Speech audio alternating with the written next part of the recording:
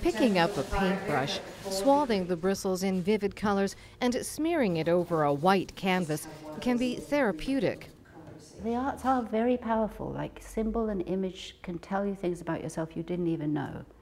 And then afterwards, I'm going to get you to do what Peter did, which is paint. Professional art therapist Liz McKnight and Jackie Deer facilitate a variety of six week workshops on Gabriola Island that engage participants to dabble in the creative process, whether it is art or drama or writing, to help them deal with grief, chronic pain, or dealing with a serious illness.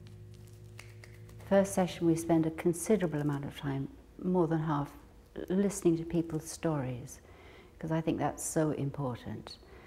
So that's the first part. And the second part is, is helping them to express themselves.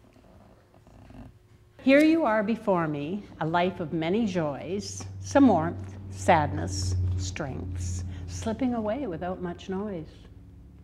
So little to say, so much to do, so little time, I don't quite feel through. The Healing Power of Art program is not one of the usual types operated by the Gabriola Arts Council.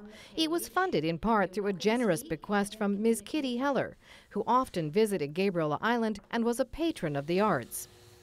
What she recognized and what we have tried to uh, honor through this program is, uh, as the name is, uh, indicates, the healing power of art, the way that uh, the creative pro process and working in a creative way can help uh, build community well-being, can help people move through difficult times and processes.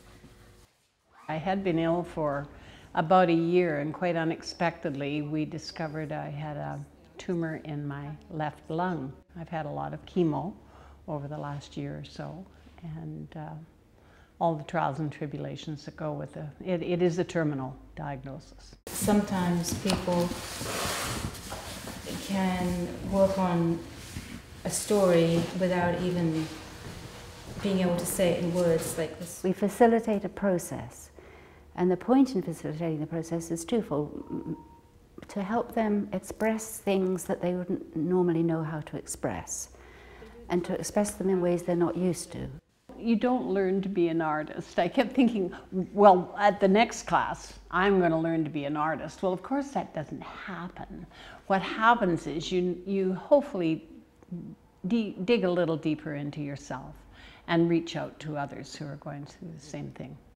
Meeting and sharing experiences with others who are going through or who have survived similar experiences can help us feel less vulnerable and less alone. Well, one of the things that I, was asked to do was to lay on the floor and somebody drew a, a kind of a silhouette of my body and then to fill in areas of the body that I thought were important in the context of healing with cancer. So I drew a, a, a lot of intestinal objects on my picture and I was able to talk about them to other people. The value to me was in hearing everyone else's story and understanding and knowing what they were going through and really understanding it and really knowing. And, they, and, I, and I had the feeling they knew what I was going through and how I was feeling. I don't know why or how, but it's a magical process that I've participated in and, and with great joy and pleasure. We've lost the ability to play, most of us. So that's a very, that's a very important part of the healing, and get them to play. Art therapy, whatever the form, is globally recognized for adding value to individuals and community wellness. On Gabriola Island, I'm Annette Lucas.